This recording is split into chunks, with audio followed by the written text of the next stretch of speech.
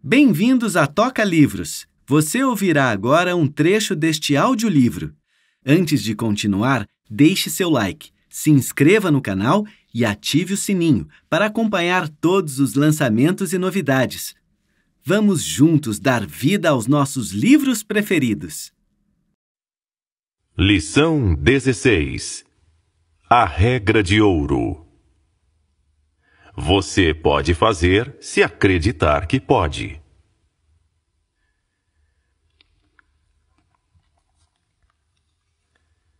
Com esta lição, nos aproximamos do ápice da pirâmide do curso sobre a lei do sucesso. Esta lição é a estrela guia que permitirá usar de modo lucrativo e construtivo o conhecimento reunido nas lições precedentes. As lições anteriores deste curso contêm mais poder do que a maioria dos homens poderia dispor com segurança. Por isso, esta lição é um regulador que, se observado e aplicado, lhe permitirá conduzir seu navio de conhecimento em meio aos rochedos e recifes do fracasso que geralmente assolam o caminho de todos que chegam ao poder de forma súbita. Por mais de vinte anos, observei como os homens se comportam quando detêm poder e fui forçado à conclusão de que quem o conquista de qualquer outra maneira que não seja vagarosa, passo a passo, corre o risco constante de destruir a si e a todos que influencia. Deve ter ficado óbvio para você há tempos que este curso inteiro leva à conquista de poder em proporções que podem produzir o aparentemente impossível. Felizmente, fica evidente que esse poder só pode ser atingido pela observância de muitos princípios fundamentais. Princípios que convergem todos nesta lição, baseada na lei que iguala e transcende em importância todas as demais escritas nas lições precedentes. Do mesmo modo, fica evidente para o aluno atento que esse poder só pode durar mediante a fiel observância da lei em que esta lição se baseia. Nela, situa-se a válvula de segurança que protege o aluno descuidado dos perigos de sua insensatez e protege também aqueles que ele poderia colocar em perigo caso tentasse driblar a determinação prevista nesta lição. Brincar com o poder que pode ser alcançado a partir do conhecimento contido nas lições precedentes deste curso sem um total entendimento e a estrita observação da lei exposta nesta lição equivale a brincar com um poder que pode destruir, bem como criar. Agora estou falando não do que eu suspeito ser verdade, mas do que sei que é verdade. A verdade sobre a qual este curso inteiro e esta lição em particular baseiam-se não é invenção minha. Minha única reivindicação é ter observado sua aplicação invariável pelos caminhos diários da vida por um período de mais de 25 anos de luta e tê-la adotado e utilizado tanto quanto podia à luz de minhas fragilidades e fraquezas humanas. Se você exige prova positiva da solidez das leis em que este curso em geral e esta lição em particular se baseiam, devo declarar incapacidade de oferecê-la, exceto por uma testemunha você mesmo. Se você exige evidência mais substancial e abalizada do que a minha, é meu privilégio encaminhá-lo aos ensinamentos e à filosofia de Cristo, Platão, Sócrates, Epícteto, Confúcio, Emerson e dois dos mais modernos filósofos, William James e Hugo Musterberg, de cujas obras peguei tudo que constitui os mais importantes fundamentos desta lição, com exceção do que adquiri a partir de minha limitada experiência. Por mais de quatro mil anos, os homens têm pregado a regra de ouro como uma norma de conduta adequada, mas, infelizmente, o mundo aceitou as palavras e esqueceu totalmente o espírito desta injunção universal.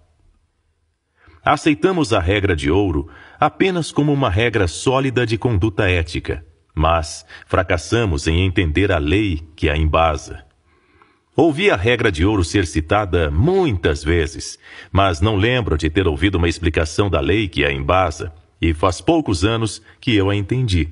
Por isso, sou levado a crer que aqueles que a citaram não a entendiam. A regra de ouro significa substancialmente fazer aos outros o que você desejaria que fizessem para você se as posições fossem contrárias. Mas por quê? Qual o verdadeiro motivo para uma consideração bondosa pelos outros? O verdadeiro motivo é o seguinte: existe uma lei eterna por cuja operação nós colhemos o que semeamos. Ao selecionar a regra de conduta pela qual se guiar nas transações com outros, você muito provavelmente será justo e equitativo se souber que com essa escolha está colocando em movimento um poder que seguirá seu curso para o bem ou para o mal na vida dos outros e que por fim retornará para ajudá-lo ou prejudicá-lo, de acordo com sua natureza. O que um homem semear, também colherá. É sua prerrogativa tratar os outros de forma injusta. Mas, se entende a lei sobre a qual baseia-se a regra de ouro, você deve saber que seu tratamento injusto volta para de onde saiu. Se entendeu plenamente os princípios descritos na lição 11 sobre pensamento preciso, será muito fácil entender a lei sobre a qual baseia-se a regra de ouro. Você não pode corromper ou mudar o curso dessa lei, mas pode adaptar-se à sua natureza e, assim, usá-la como um poder irresistível que irá levá-lo a muitas conquistas que não poderiam ser atingidas sem tal ajuda. Essa lei não se limita apenas a arremessar de volta seus atos de injustiça e indelicadeza em relação aos outros. Vai além disso, muito além, e devolve os resultados de todo o pensamento que você emite. Assim, não apenas é aconselhável fazer aos outros aquilo que deseja que eles façam a você, mas, para aproveitar plenamente os benefícios dessa grande lei universal, pensar dos outros o que deseja que eles pensem de você. A lei sobre a qual a regra de ouro é baseada começa a afetá-lo para o bem ou para o mal no momento em que você emite um pensamento Quase chegou-se a uma tragédia mundial porque as pessoas em geral não entenderam essa lei. Apesar da simplicidade, ela é praticamente tudo de valor duradouro que deve ser aprendido, pois é o meio pelo qual nos tornamos mestres do nosso destino. Entenda essa lei e você entenderá tudo o que a Bíblia tem a revelar pois a Bíblia apresenta uma cadeia ininterrupta de evidências de apoio ao fato de que o homem é o autor de seu destino e que seus pensamentos e ações são as ferramentas com as quais ele o produz. Em tempos de menos esclarecimento e tolerância do que o presente, alguns dos maiores pensadores que o mundo já produziu pagaram com a vida por ousar desvendar essa lei universal, de modo que pudesse ser entendida por todos. À luz da história, é uma evidência encorajadora do fato de que os homens estão gradualmente lançando fora o véu de ignorância e intolerância.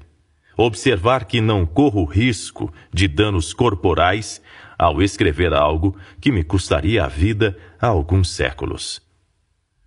Embora este curso lide com as leis mais elevadas do universo que o homem é capaz de interpretar, o objetivo foi mostrar como elas podem ser usadas nos assuntos práticos da vida. Tendo em mente o objetivo da aplicação prática, vamos agora analisar o efeito da regra de ouro com o episódio que segue.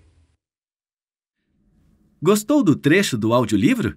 Então acesse nosso site e baixe gratuitamente nosso aplicativo disponível para Android e iOS e ouça hoje mesmo a versão completa da obra. E não se esqueça de deixar seu like, comentar e se inscrever no nosso canal. Toca Livros, trazendo vida a seus livros.